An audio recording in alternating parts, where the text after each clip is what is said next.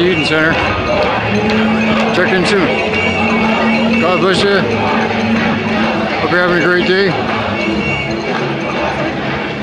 Sorry.